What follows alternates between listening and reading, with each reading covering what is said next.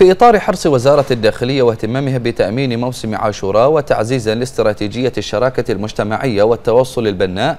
مع كافة الفعاليات والأطياف المجتمعية استقبل الفريق أول معالي الشيخ راشد بن عبد الله الخليفة وزير الداخلية صباح اليوم بنادي ضباط الأمن العام سعادة السيد يوسف بن صالح الصالح رئيس مجلس إدارة الأوقاف الجعفرية وأعضاء هيئة المواكب الحسينية وعددا من رؤساء المآتم وذلك في إطار التعاون والتنسيق بشأن تنظيم فعاليات عاشوراء.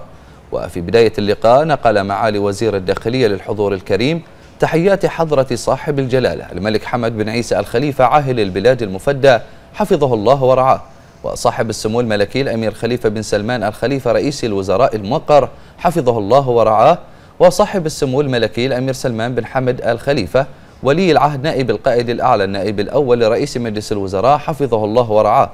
مؤكدا معاليا أن حرية ممارسة الشعائر الدينية مكفولة للجميع وفقا للتقاليد المرعية في البلاد وفي إطار القانون وانطلاقا من قيم ومبادئ المشروع الإصلاحي الشامل لحضرة صاحب الجلالة الملك المفدى حفظه الله ورعاه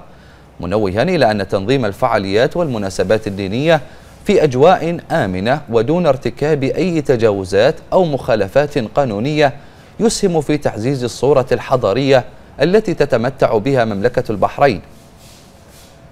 وأوضح أن الخطة الوطنية لتعزيز الانتماء الوطني وترسيخ قيم المواطنة ومن خلال مبادراتها المتعددة أعلت من قيم الولاء والانتماء للوطن وكل ما من شأنه المحافظة على القيم والعادات والتقاليد الأصيلة لأبناء البحرين الأوفياء الأمر الذي يتطلب التمسك بهويتنا الوطنية وتجنب كل ما من شأنه المساس بالسلم الأهلي وتهديد النسيج الاجتماعي موضحا أن التعاون والتنسيق والشراكة المجتمعية بين الأطراف المعنية بشأن موسم عاشوراء من شأنه المساهمة في إحياء هذه المناسبة بالشكل المطلوب.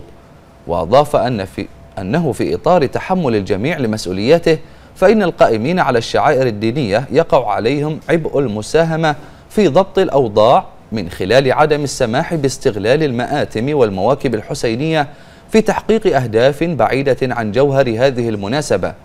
كأن يتم رفع شعارات أو صور لشخصيات دينية أو سياسية أو أحزاب أجنبية وهو أمر مرفوض وسوف يتم مراقبته ولن يسمح به.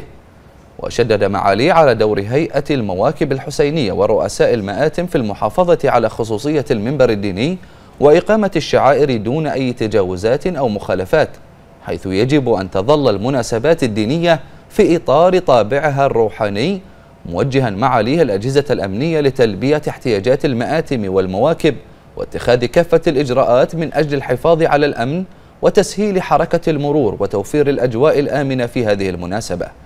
من جهتهم عبر رئيس مجلس إدارة الأوقاف الجعفرية وأعضاء هيئة المواكب الحسينية ورؤساء المآتم عن بالغ شكرهم وتقديرهم لمعالي وزير الداخلية على تعاونه وحرصه على توفير كافة التسهيلات لإنجاح إحياء ذكرى عاشوراء